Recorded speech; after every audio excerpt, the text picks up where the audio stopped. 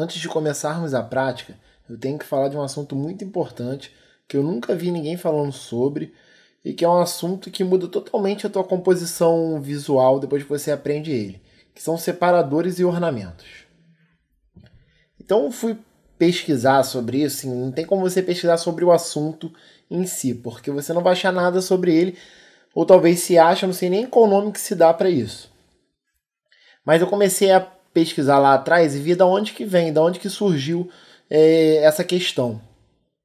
E aqui eu já começo a ver, desde o início, que nos manuscritos antigos medievais, um item para separar o início de capítulo, uma nova sessão ou algo do tipo. Por exemplo, eles usavam aqui o drop cap, que seriam essas letras daqui, que até hoje existe muito em, em jornal, até que ele usa primeiro uma letra zona toda grande para começar qualquer capítulo ou começar uma notícia. E aqui eles usavam elas bem ornamentadas. Isso aqui nos, nos manuscritos, era toda feita por um ilustrador. Então tinha todo um detalhe aqui nelas. Além dessa, desse início aqui do capítulo que fosse da página, não sei dizer o que, que isso daqui representava, tinham também os inícios dos parágrafos. Como a como fazer um livro era muito caro, você tinha que aproveitar bem o papel, o papel ali que você ia criar ele. Então, por isso, não se tinha na época essa, esse pula-linha, esse espaçamento entre linhas. Então você vê aqui, olha, pequenos glifos, pequenos ornamentos, elementos que separam o início de parágrafos. Você vai, você vai vendo ele em toda a página, olha aqui, aqui, aqui. Então isso aqui já foi o início desses, desses separadores que vamos falar que tem muito na web hoje em dia. Aí depois eu comecei a ir mais longe, comecei a ver um pouco mais sobre os anúncios, os primeiros anúncios que existiam, que tiveram anúncios bem antigos, para ver se existiam também esses elementos separadores. E eu já comecei a ver os que mais se comunicam hoje em dia com a web. Eu peguei esse anúncio aqui francês, eu já vi aqui, olha, tá vendo essa linha é, entrelaçada aqui, que tá aqui, essa linha meio que tá tremida. Isso aqui é um separador, ele separa esse conteúdo daqui desse conteúdo aqui de baixo. É um elemento que serve tanto como, como um ornamento para deixar a página mais interessante, como para separar conteúdo. E aí eu vim e vi aqui mais um, alguns, algumas coisas mais antigas também. E eu peguei essa carta aqui de vinho, acho que é de 1890, que também já eu vejo novamente esses separadores. Isso num conteúdo que era, era como se fosse um menu mesmo de vinhos. Então você vê aqui, olha, o separador aqui, que separa o título do conteúdo. Você vê ele se repetindo sempre, olha, separando o conteúdo. E você vê também esse aqui menorzinho, que é talvez para dar ênfase a uma certa passagem. Por exemplo, é isso daqui que está escrito. Aqui também de novo. Então fui vendo aí, teve mais separadores. Tem esse daqui também. Nessa carta aqui, que ele já usa o separador junto com o ornamento. Olha eles aqui, olha, até muda cada ornamento. Está vendo? E eles sempre se comunicam muito com a tipografia que tá, sabe? Tem mais ou menos a mesma grossura, sabe? Do tipo. Então é um elemento bem tipográfico. E hoje, e hoje na web ele é muito utilizado, muito. E eu quero mostrar aqui para vocês como que a gente usa mais, mais ou menos eles. Primeiro, em parágrafos, para marcar o início de deles. Em títulos, para separar título e conteúdo, ou para dar ênfase a um título. Também em listas, que é para marcar os itens da lista. Geralmente a gente vai usar um ornamento, ou então separadores mesmo para separar cada item da lista. Ou entre seções também de um site, para marcar o início ou o fim. E aí eu trouxe para vocês acho que 18 exemplos de sites aqui que tem separadores e como eles são usados. Olha, vamos começar aqui nesse aqui. Não, antes, antes de mostrar isso, mostrar isso daqui só para vocês. Olha só, esse daqui é o slide e eu tenho separadores aqui embaixo do 5 e embaixo aqui do, dos títulos. Olha agora sem o separador como fica. Olha como parece que está faltando alguma coisa, sabe? Parece que a informação está meio jogada. Como muda a organização. Só esse pequeno traço. Isso dá toda a diferença na tua composição. Depois que você aprender a usar esses traços, você vai ver como vai ficar muito melhor os teus projetos. E agora vamos aos exemplos. Estou começando aqui nesse site aqui desse site. Então já tem aqui um separador aqui que eles criaram.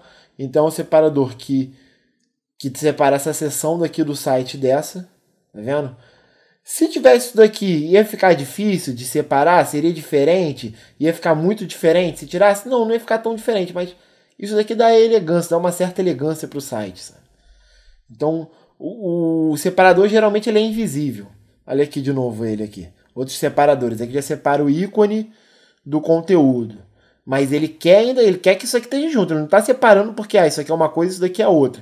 Ele só faz isso aqui para criar uma quebra. E você vê que a linha, a grossura dessa linha, como eu já até falei em outro exemplo, tem a mesma grossura que o ícone, que é mais ou menos a mesma grossura do título. Então você vê como o separador se comunica com o conteúdo.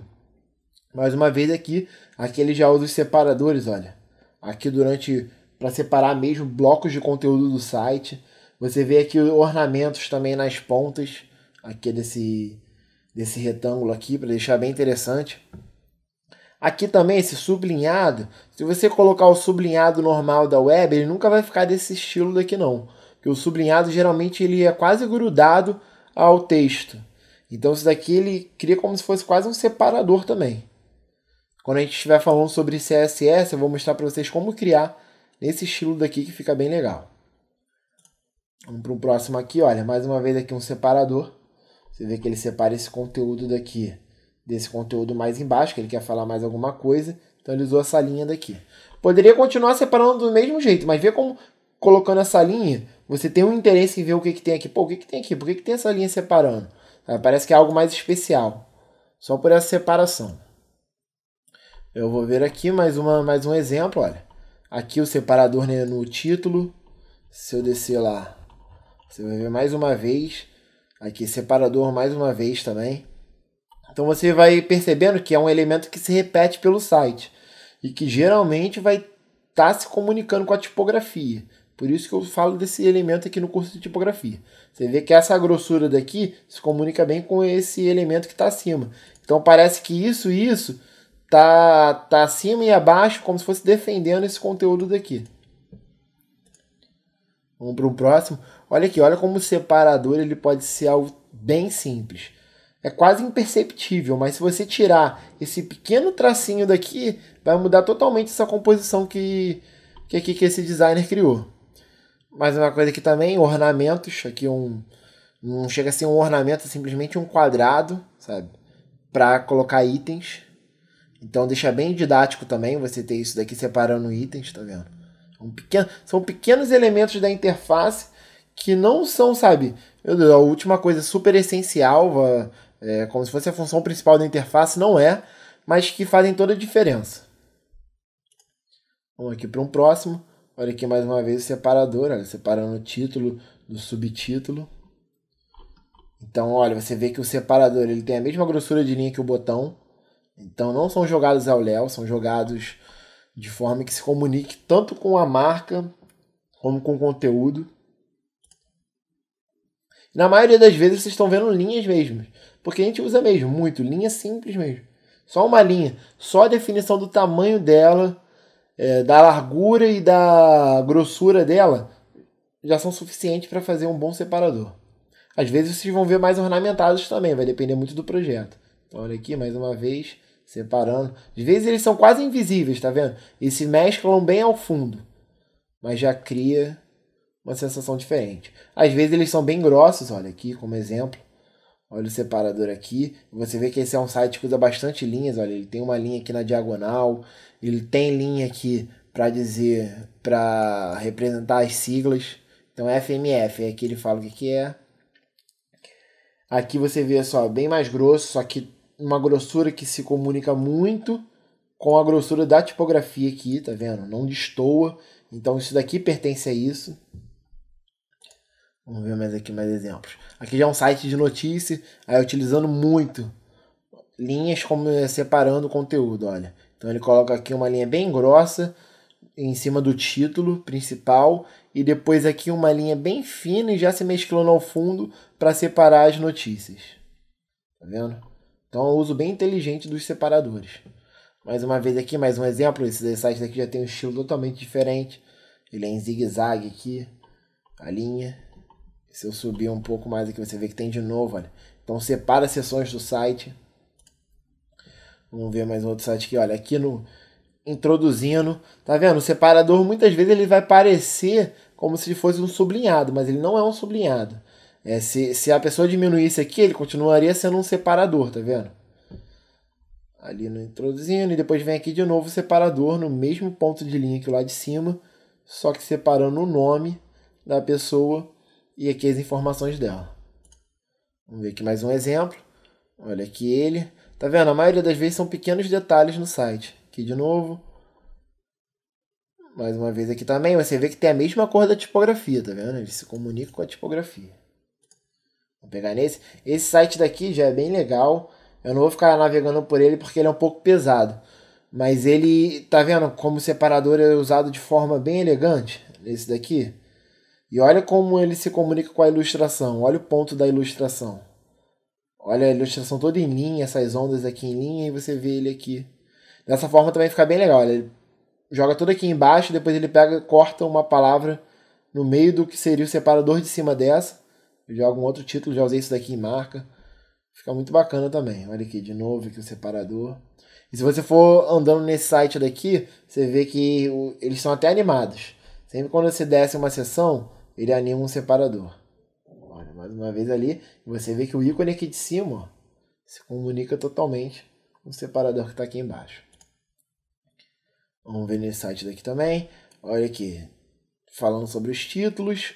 Aí você vê aqui já no estilo diferente, tem uma linha maior, depois uma menor.